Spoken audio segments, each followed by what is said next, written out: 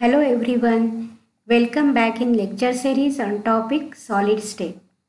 In last video, we have studied about close packing in one dimension and close packing in two dimension. And today in this lecture, we will study close packing in three dimension. So let us see how three dimensional structure is generated from one dimensional and two dimensional close packing. So in case of close packing in one dimension, we know that uh, spheres are considered as a hard spheres and these hard spheres are arranged one after another like this. And each sphere touches the two other sphere in the row. Exceptional case is terminal sphere and therefore coordination number of any sphere is 2 as it touches the two neighboring spheres. And in case of close packing in two dimension, two ways are there. One is square close packing in case of square close packing, the arrangement is like this. And in this arrangement, one-dimensional rows, these are placed one above another. That is, one-dimensional rows are stacked one above another. So that we get what? The two-dimensional square close packing uh, type of arrangement. And here the each spear from the second row touches the spear of the first the spear from the third row touches the spear of the second row like that. And this arrangement is repeated. Here all these spheres touches or these are these align vertically as well as horizontally and all these layers or these rows are identical. And therefore suppose this row is named as a then this row is also A this row is also A and therefore it is called as AA type of arrangement. And any middle sphere it is in contact with other four spheres. Two from its own layer one from the layer above and one from the layer below.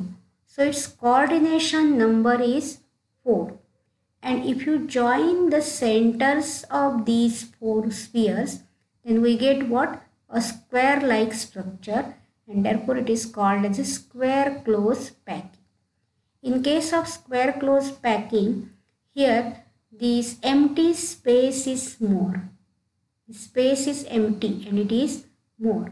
So less space is occupied by the sphere. So packing efficiency of square close packing is less. Second way of packing in two dimension that is hexagonal close packing. In this the sphere of the second layer this is the second layer this is the first layer. So sphere of the second layer is placed in depression of the first layer. These are the depressions of the first layer and spheres of the second layer are placed exactly in the depression of the first layer. Like that, sphere of the third layer is exactly placed in the depression of the second layer. In the same way, sphere of the fourth layer is placed in the depression of the third layer. And same arrangement is repeated. So here the first layer and second layer are different one. The arrangements are different and the sphere from second layer and first layer it does not align. But the sphere of the third layer and sphere of the first layer align. Like that sphere of the second layer and sphere of the fourth layer, fourth layer align. So after the every third layer is similar in case of what? Hexagonal close packing. And therefore this arrangement suppose this first layer is named as a then it is not identical with the second layer. So second layer is named as a B then AB AB type of arrangement is there in case of hexagonal close packing.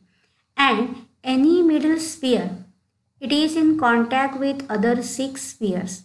It touches with other six spheres like this. And if you join these centers of all these six spheres then we get hexagon. And therefore it is called as a hexagonal close packing. And its coordination number is 6 as it touches the other 6 spheres its coordination number is 6 and here if you observe the uh, empty space shape of the empty space here these are the voids then this shape of the empty space is triangular shape and here two types of triangular shapes are there. A triangular shape or that is called as a void, triangular void having apex in upward direction and triangular void having apex in downward direction. And these are arranged alternately in this arrangement. Here it is in a downward direction. Apex is pointing in downward direction here apex is pointing in upward direction. Again apex is pointing in downward direction. Then again apex is pointing in upward direction. So alternate arrangement of down apex pointing towards downward and upward is observed in case of hexagonal close packing. So here the more space is occupied by the spheres and voids are less and therefore packing efficiency is more in case of hexagonal close packing if you compare the packing efficiency with score, square close packing. So this both these close packing in one dimension and two dimension we have studied in last lecture.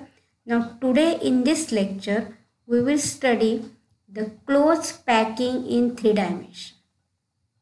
So three dimension close packing in three dimension it is obtained by stacking of two dimensional layers that is stacking of square close packed layer and stacking of hexagonal close packed layer. Now Two-dimensional square close packed layers can be stacked only by one way and it gives a simple cubic structure. And stacking of hexagonal clo close packed layers uh, can be done by two different ways or two-dimensional hexagonal close packed layers can be stacked or arranged in two different ways. One is what? The stacking of two two-dimensional hexagonal close pack layers which gives hexagonal close packing structure. And the stacking of three two-dimensional hexagonal close pack layers it gives face-centered cubic structure or cubic close packing. So we'll see first the stacking of square close pack layers. So in this stack type, two-dimensional square close packed layers are stacked. So this is a two-dimensional square close packed layer. And when such a layers are arranged one over another, then we get a three-dimensional structure like this. This is the first two-dimensional square close packed layer. This is the second three-dimensional square two-dimensional square close packed layer and above this uh, two-dimensional square close packed layer is arranged. So like this the two-dimensional square close packed layers are arranged like this one above exactly these are placed one above another. And therefore, here all these spheres are vertically as well as the horizontally these layers are aligned like this. These are aligned vertically as well as horizontally. In two-dimensional square closed pack layers, these are placed in such a way that the sphere of the second layer is placed exactly above the sphere of the first layer. हे जर first layer आहे असं समजलं आणि हे second layer आहे तर बरोबर याच्यावर second लेअरचं स्पियर येतं and there four spheres of all the layers are align horizontally as well as vertically. And this gives a simple cubic structure like this. And if you join the four atoms if you join these if you consider these four atoms from the third layer and the four atoms from the second layer and if you join these eight spheres like this one two three. These are four from the above layer this layer that is third layer. And one two three and four from the second layer. If you join these eight spheres then we get what? A three-dimensional structure of a simple unit cell.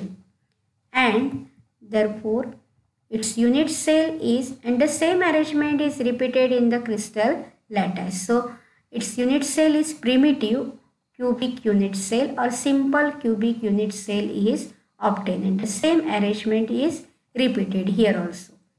If you take the four atoms from this layer and four atoms from the layer below and if you join it you will get what? A simple cubic unit cell which is uh, the arrangement of which is repeated. And coordination number is 6 now you know that uh, the coordination number in case of 2D close packing that is two dimensional close packing square close packing it is 4 that is like this. So this is the two-dimensional layer of square close packing. And here the middle sphere is in contact with four other spheres.